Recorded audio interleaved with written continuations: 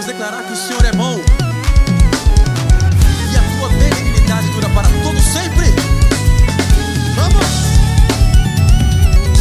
Senhor, tu és bom, tua misericórdia é para sempre. Senhor, tu és bom, tua misericórdia é para sempre.